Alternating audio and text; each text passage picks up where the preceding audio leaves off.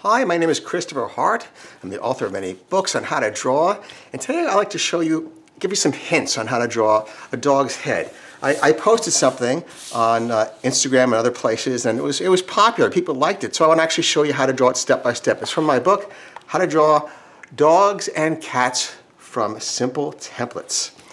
And I'll put this over here. And what I'm going to show you is that it really helps if you look for hidden lines, hidden repeated lines in a drawing. I'm going to show you what that means. So I'm going to start with the head. This is head of a dog. I'm going to start with a circle for the skull. And it's just a starting point.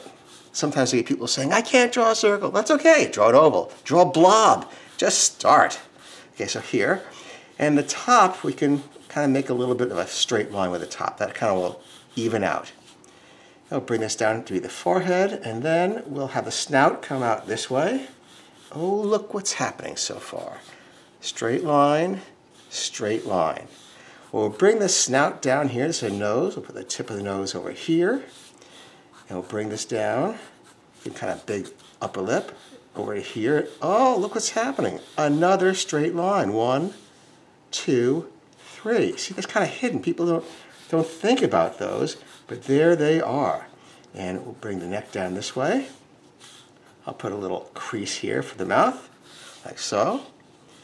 And right here where this line is, I'm going to put the eye. The eye goes right in the middle where the snout is. So we'll make that a, an oval for the eyeball. It could be a regular circle if it were facing you, but the fact that it's facing sideways it's easier to draw it as an oval because the perspective. Kind of flattens out.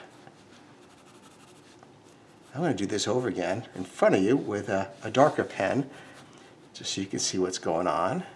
But let's just get the positioning right so far. Give a little eyebrow like this. But again, see one, two, three. And how about a little kind of wavy ear? It's, it's actually my dog. Spencer is his name. I'm going to bring this, you know, I'm going to bring this down here once, still that third line, but I'm going to bring that here for a little smile. How's that? And a little chin. Yeah, that looks good. Okay, like I said, I'm going to now use a marker and make this slender, not round, because it's a side view like that. I'm going to leave a little circle here for the eye shine and blacken all around there.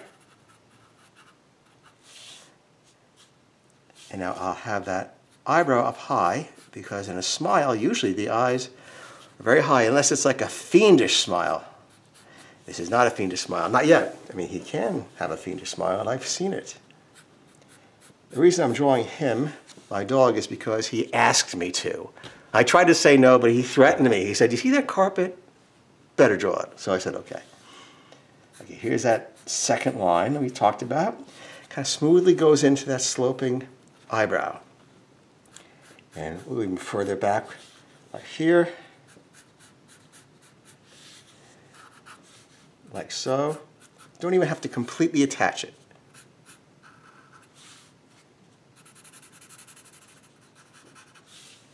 And a little shin. Not the same size, not the same you know, uh, length as the lips over here. And come down this way. A couple of whiskers, maybe a hair or two. And you can now, now that you have that line in place, you can do something with it. You can round it off because it's cuter if you have it rounded. It just is. Okay, now so we're going to have a little bit of fun here with wavy ears that kind of go in front of them, sort of like uh, humans would have hair falling in front of their faces. That's what happens with dogs. A little crease right here, like that. And you can, of course, add a little collar if you want. I like to have it slope down a little bit for a little bit of that accent. Chest comes out. And there you go. I hope you like that. There's some hints maybe you got something out of. Please subscribe to my channel. I have new videos every Monday. And thanks for joining me. Bye-bye.